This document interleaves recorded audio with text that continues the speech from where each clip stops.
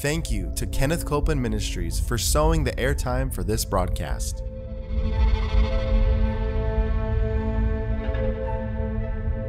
There's enough power in every sick room and in every hospital room to raise up that sick one that may be describing you. Yes, You yes. may be in a sick room.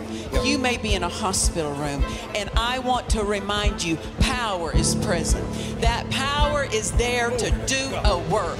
Believe in what's present, not try to get something, but notice that He's already made it yours. It's present right where you're at. Say, I receive that power. I receive that power. I receive it right now. I receive it right From now. From the top of my head the top of my to the soles of my feet. The soles of my feet.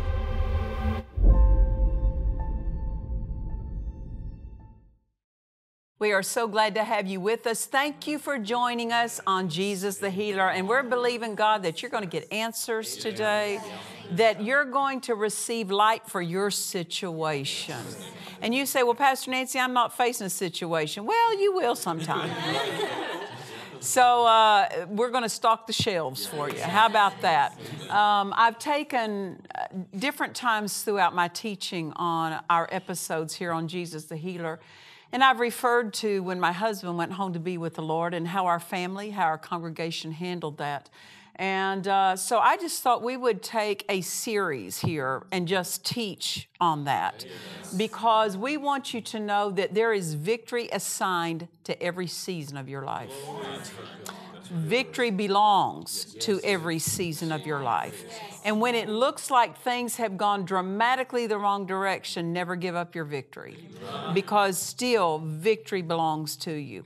And so, what we have to do, though, to cooperate with that victory is we have to think in line with the Word, we have to respond in line with the Word because we can know what the word says and not respond in line with that word. So that's where we grow in skill. And as we mature, our response comes more and more in line with God's word. Amen.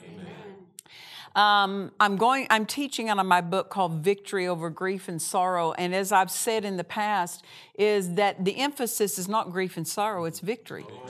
It's victory. And uh, we have to think right, though, so we can experience that. Grief and sorrow doesn't just enter or try to enter someone's life and when someone goes home to be with the Lord, but just when maybe a business is lost, a home is lost, a relationship doesn't work out as intended. And those things can be a heartbreak. And the devil will take those times of transition and try to work his grief and sorrow into the lives of people. And when I talk about grief and sorrow, I'm not saying that it's wrong to weep over a situation because Jesus himself is touched with the feelings of our infirmities. But know this, he's not entrenched in those feelings. We are touched by the feelings of things, but we're not to get entrenched in a flow that is opposite of what God offers us. We're not to get entrenched in a flow of grief and sorrow to where it starts coloring our life and, and paints it dark. And so, anyway, this is what we're talking about, and we're just glad to share this with you because what I've learned at those times, I want, I want to pass it on so that someone doesn't have to struggle. Maybe, uh, and, and two, we want to give you an example that works.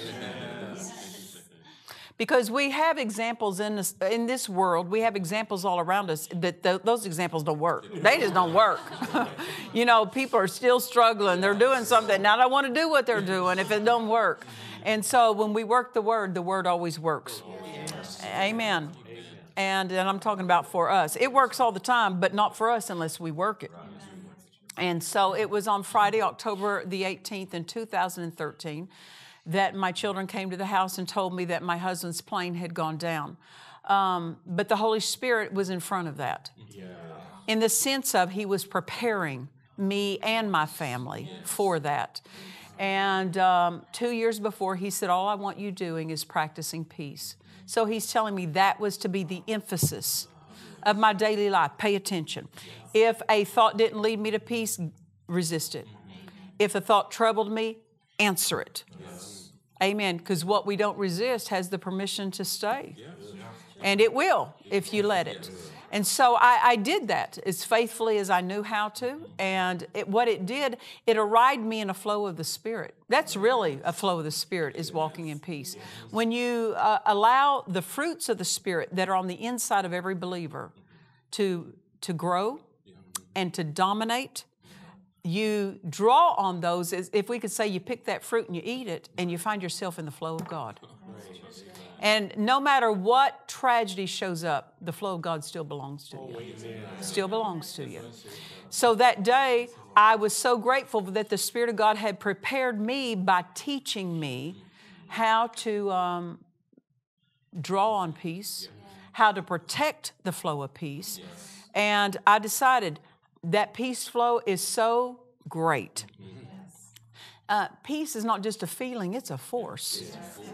It's a divine flow, it's a force. And uh, so, in that, it protected me in that right flow. And I decided I'm not coming out of that flow. I'm not coming out of that flow. Because grief and sorrow will offer you a flow, but it's not a flow you want. Amen. And so I wanted to start, we, we left off on the previous episode reading out of Philippians chapter 4, and we want to, I want to go back to that. Philippians chapter 4, verse 6, the Amplified Classic Translation, because we have to make sure that we're cooperating with the word that comforts us. Yeah. Yes. The word is our comfort. Amen. The Holy Spirit is a comforter. Yes. God may comfort you through other people, but when we take His words and believe them and hold to them and act on them, uh, we're going to arrive at the at the best place. Amen. Amen. So we have to we have to do what the Word says if we're going to benefit mm-hmm. from the Word. So we have to look at. Let's look at Philippians chapter four, verse six, and purpose to be doers of it. Uh, again, the Amplified Classic, it says, "Do not fret." Period. Don't fret.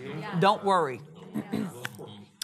or have any anxiety about anything. Now, I'm going to ask the studio audience here because they know the answer to this. How do you know if you're worrying? If you're thinking about it. If you're thinking about it. Do not think about it. You know, when it says do not fret, it's saying do not think about something that could trouble you. Think about, realize this you're authorized not to think about some things. Oh, Just because something shows up doesn't mean you have to think about it.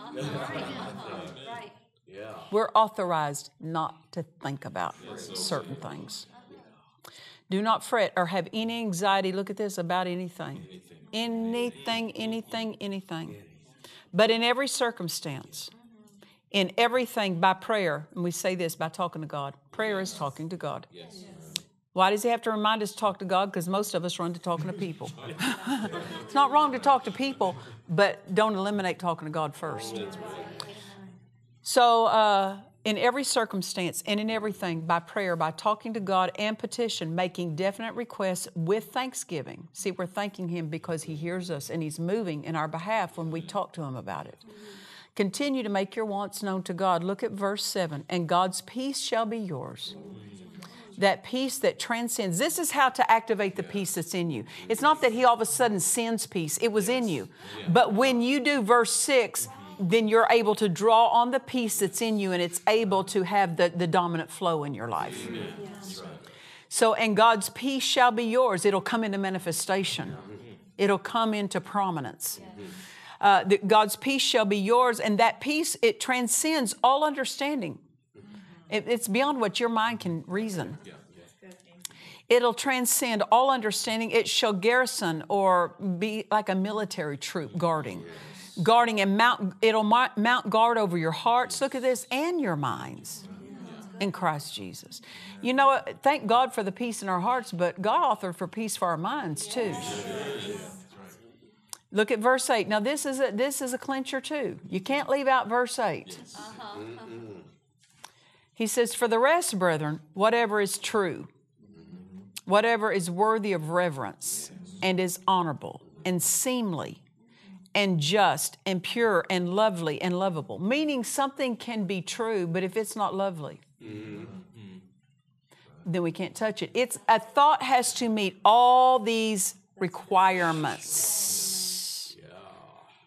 All of these descriptive adjectives, right?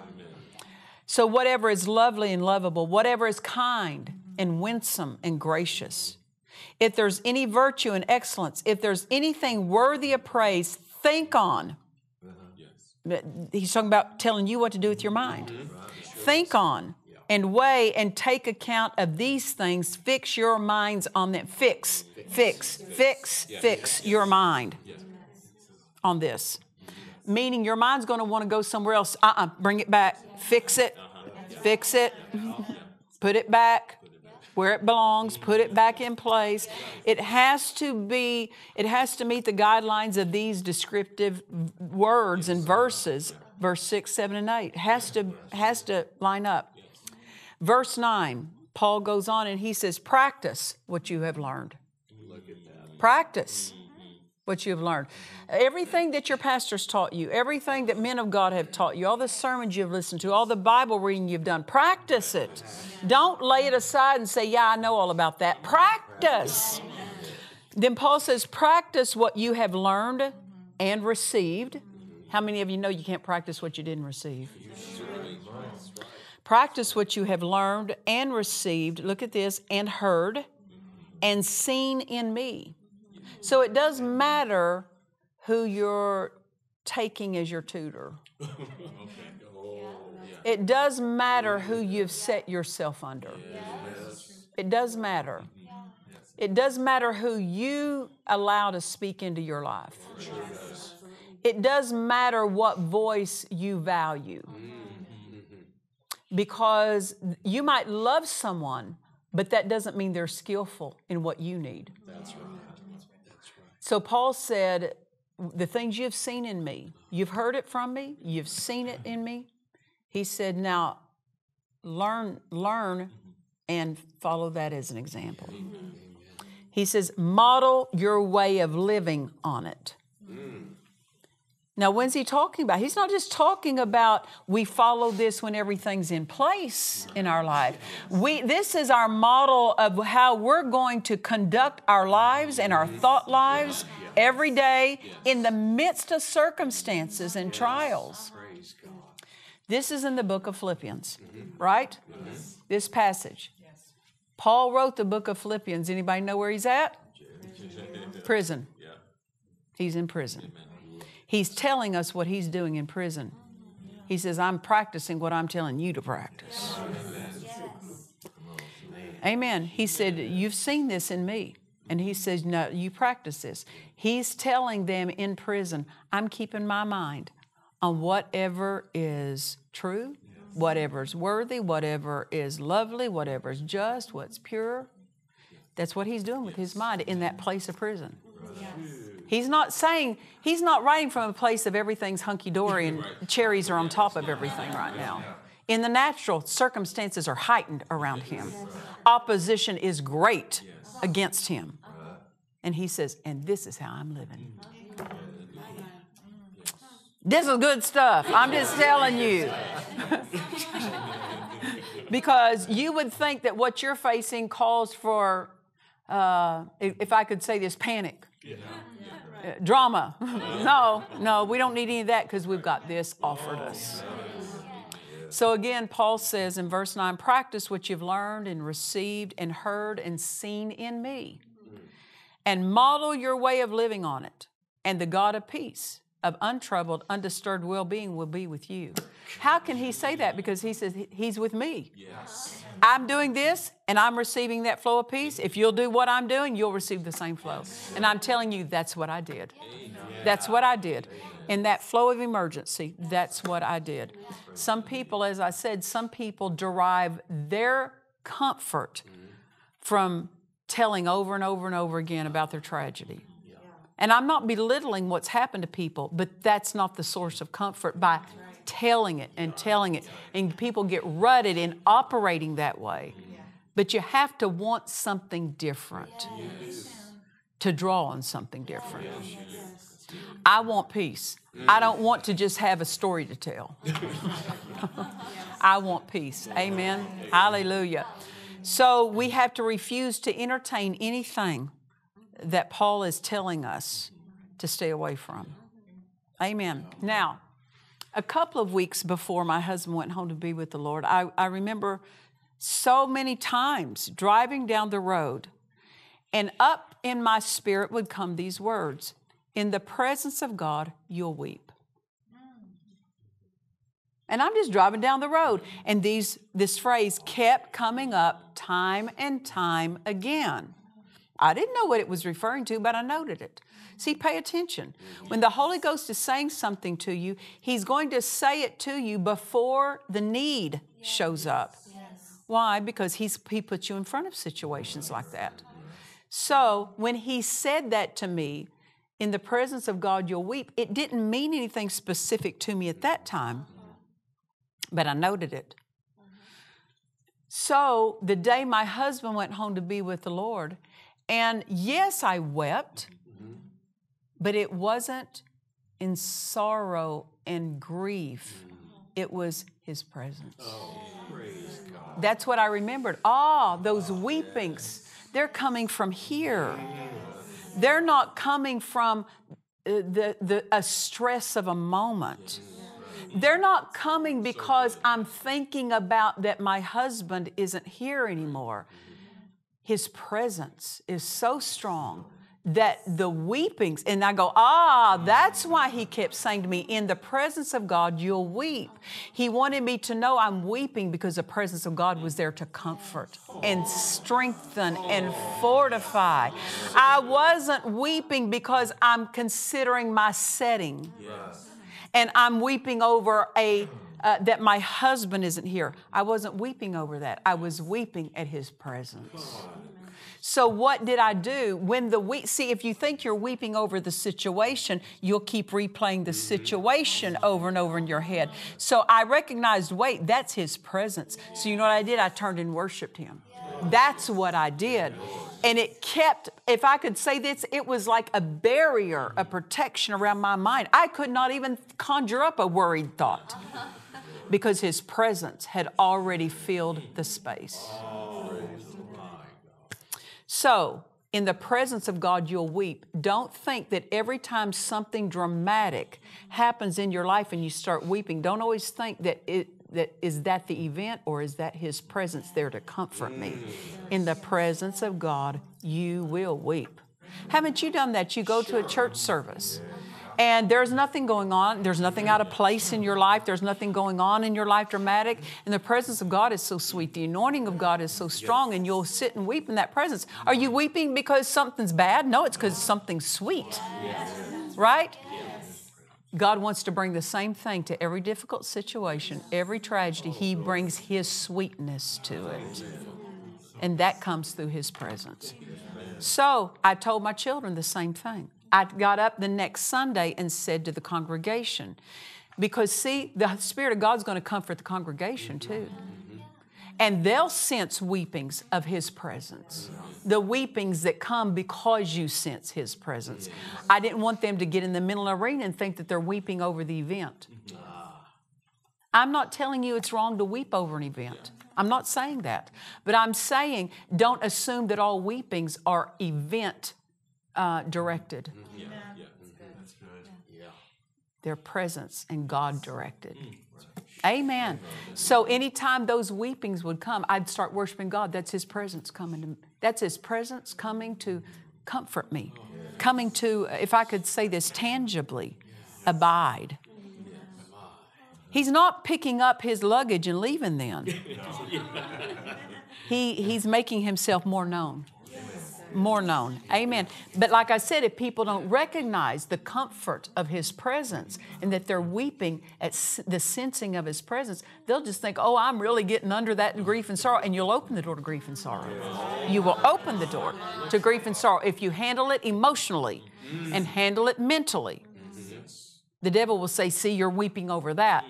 You, you, you're really, no, no, no, I'm worshiping God. It's His presence I sense. It's not sorrow I sense. It's not grief I sense. It's Him I sense. And then you just occupy yourself with Him. And for weeks, that's what I did worshiped and worshiped and worshiped. And I didn't have to ask very many questions. You want to know why? In His presence, I heard my answers. In His presence, answers flowed. I didn't have to sit and make a list of answers in his, um, a list of questions rather for him to answer. What am I going to do about this? What am I going to do about that? The more I stayed in his presence, the plan is in his presence. The help is in his presence. The answers are in his presence. I stayed in his presence. That's why I spent hours and hours just worshiping God, not figuring out anything, not calling people for counsel. Yes, people called me. They were very kind. They were very kind and I appreciated it. But I didn't call up a bunch of people for answers. Why? The answers were flowing in his presence. That's why one time, one of the reasons the devil wants to draw you in the mental arena because he knows there's no answers for your future there. He, he wants you to miss hearing the answers that will flow from being in the presence of God. He wants you to miss that. Praise the Lord. I said, Praise the Lord. Well, we're learning. I said, We're learning. We're learning. Um, I want to, before I go any further, I, I, may go further with teaching. I don't know. We'll see. We're coming close to the uh, the time ending on this broadcast. But right where you're at today, I want to help you. Maybe you can say, Pastor Nancy, I had an event, a tragedy, a crisis, maybe a year ago, two years ago. And now you're helping me locate how God was trying to help me you can look back and you say, you know, now that I, I men- now that you mentioned that, I realized, yes, the presence of God was tangible, but I went the wrong direction. I flipped over into that mental arena and I started out of my emotions, letting my emotions lead me. And I just opened the door to that grief and sorrow. And I have felt the void, the vacancy of that person being here. Well, you know, you say, well, because you'll hear people say, and I'm talking about people in the world, not talking about people in the church, but I'm talking about people in the world who have faced a tragedy and they say, you know, I, uh, there's nothing that can fill that void of that person being gone. There is too. Oh, yes, yes, there is. Jesus makes you whole. Yes. He will not leave you with empty places in your life. And when someone is no longer there who used to be there, you don't have to live with that ongoing sense of they're gone. They're gone, and I miss them so much. Yes, you miss them, but you don't miss them in a troubling way. It doesn't trouble you. And I just want you to know whether it's a child, whether it's a family member, whether it's a spouse, whether it's just a friend, as someone who's no longer there, you do not have to feel like your life has a hole in it. Yes. And that there's an emptiness mm-hmm. there. No, if you will turn toward Him, He will fill it with Himself. And He doesn't try to replace that person with another person. Yes. It's not wrong for a person to have occupied a special place in your heart that no one else feels. No one else needs to fill it. But God will fill the vacancy. Yes. That there's not this sense of missing something. Yes. Amen. Amen. Well, those of you, you may say, well, I'm just, you're describing some of the things I've gone through. Or maybe you're entrenched in a flow of grief and sorrow. I want you to know it can change now. Amen. Right now. Right now. You don't have to drag your way back out of that, but you can sense it. You can turn and, and sense His presence right now and His help right now. Amen. So if you say, you're talking to me, then I want you to reach your hand towards the screen. And as you do, release your faith. Receive from God. Receive the power of God. And I'm going to stretch my hand, and the, congr- the audience here, we're going to all release our faith with you over your situation. We're here for you. We want you to receive the comfort that God's made yours. Amen. So, Satan, I tell you, you take your hands off their mind, you take your hands off their family, you take your hands off their business, off their home, off their children, off their life in Jesus' name. Father, we thank you for the divine force of peace, and it's on the inside of them. And we thank you, Father, that you strengthen them with might in their inner man so that they will draw on that force of peace that's in them. And we, we, we call for that peace to flow in Jesus' name. And we say that the peace of God mounts guard over their hearts It mounts guard over their minds, and they will sleep sweet. And they won't be harassed in their sleep. They won't be troubled in relationships. The troubling of relationships that has happened because, uh, because people held to the wrong thing. They didn't let the past drop. And they carried, if I could say this, luggage, baggage into other relationships, left over from other heartache. Be free from that in Jesus' name. May your home be sweet. May your marriage be sweet. May it be a new beginning for you. May it be a new start in your life. May God, um, if I could say this, recover the days for you. May He restore years. May He restore weeks and months and days into your life. And may He restore anything and everything that's lost because He intends that you live whole, whole in every way. I'm not just talking physically, but nothing of your life lacking, nothing of your life have a void or a hole in it, but God fills it with His best. In Jesus' name, you receive it. And right where you're at, you just say, I receive that. I receive it, I receive it. And you order your thinking. You order your thought life in line. And if you recognize that you've been allowing your thoughts to go the wrong direction, uh, take charge of those thoughts. Bring those thoughts back in line with the Word of God. Amen. And you have divine help of the Holy Ghost to do that. You're not doing it by willpower. The Holy Ghost is your helper. Yes. You do it by the help of the Spirit. And if I could say this, one of the best things to do, just start worshiping. Yeah. Worship, worship, worship, worship, worship God, because in His presence you hear your answers. Amen. We want to remind you, I've been teaching out of my book, Victory Over Grief and Sorrow. You can go to our website and purchase your copy today. It's at dufresneministries.org, and we'll get it right out into your hands. And until next time, remember this Jesus is the healer. God bless you. To watch or listen to today's message and other messages by Nancy Dufresne, visit DufresneMinistries.org. In the book, Victory Over Grief and Sorrow, Nancy Dufresne shares from firsthand experience how even death is no match for the mighty force of peace that is available to every believer. Order this book now at DufresneMinistries.org. God offers you His thoughts. Take them. This life changing book by Nancy Dufresne, A Sound, Disciplined Mind, will instruct you on how to do that. Order this book now at DufresneMinistries.org. Come join us for our Dufresne Ministries Miracle Crusade in Ontario, Canada, at Promise of Life Church, August 27th through the 31st. For more information and to register, visit our website at DufresneMinistries.org. Come expecting miracles.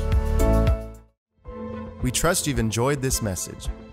Visit us at DufresneMinistries.org to learn of our upcoming meetings, share your testimony, submit a prayer request, or visit our online store. Thank you to the friends and partners of Dufresne Ministries for making this production possible. Every one of us have a job to do in the body of Christ.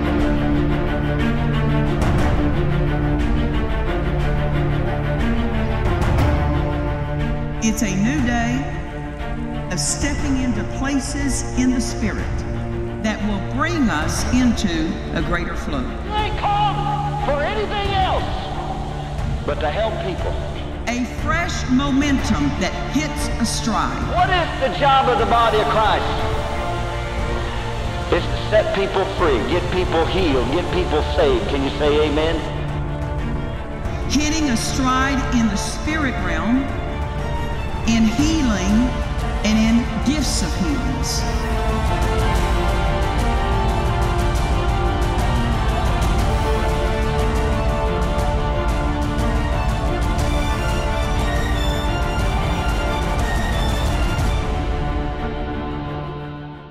This is Pastor Nancy Dufresne, President of Dufresne Ministries.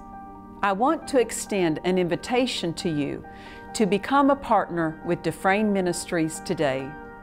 The vision of Dufresne Ministries is to move with the Word and the Spirit as we bring the message of faith and God's healing power to this generation. Partnership is a two way street. We commit to bring the uncompromised Word of God to you, and you can, by faith, become a partaker of the grace upon this ministry. Then our partners bring their prayer and support. If you receive from this ministry and have been blessed by it, please pray about becoming a partner today. God bless you. Some of the arms of the ministry that you'll support include a traveling ministry with crusades and conferences held nationwide and abroad, the printing and publishing of books, CDs, and DVDs to get this message out. Fresh Oil Fellowship, a ministerial organization for the encouragement of five-fold ministers who desire to flow with the Word and the Spirit. TV and other media broadcasts that reach various parts of the world. Our Jesus the Healer television broadcast is currently on six different networks, potentially reaching 329 million households. Benefits you receive from partnership include a 20% discount on all Dufresne Ministries products, a monthly partner letter from Nancy Dufresne, consistent ministry updates and communication, and the prayer of agreement with our partners. Be a part in carrying out the vision. Pray about becoming a legacy partner today. For more information, go to our website at dufresneministries.org.